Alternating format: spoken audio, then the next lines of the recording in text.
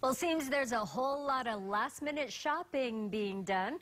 Pearlridge Center was packed today, and as we get closer to Christmas, retail experts say stores may even slash their prices from 40 to 60 percent off.